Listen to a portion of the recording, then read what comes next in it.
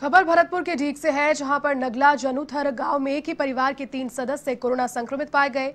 परिवार में पति पत्नी और बेटी की रिपोर्ट कोरोना पॉजिटिव आई है। आपको बता दें कि कलेक्टर के आदेश के बाद गाँव में कर्फ्यू लगाकर सीमाओं को सील कर दिया गया तो वहीं